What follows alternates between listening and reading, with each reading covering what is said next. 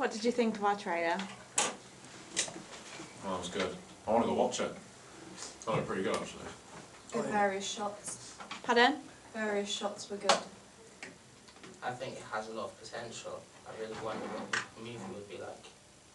I could see it on the big screen in the cinemas. I think you made very good use of lighting and a lot of contrast there, especially that flicker towards the beginning that um, when you, you see you see it then you don't. That was good. And the sound was good. Good use of sound.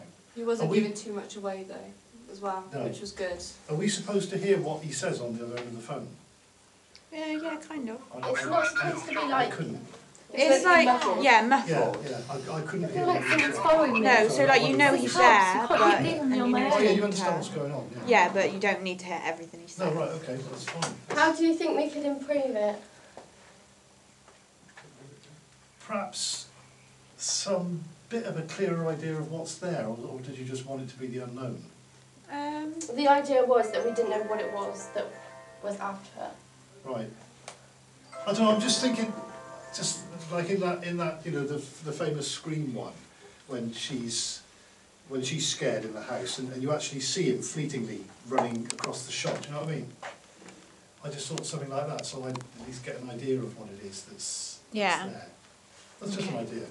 I think, okay, I think it's very effective. thank you. It was good.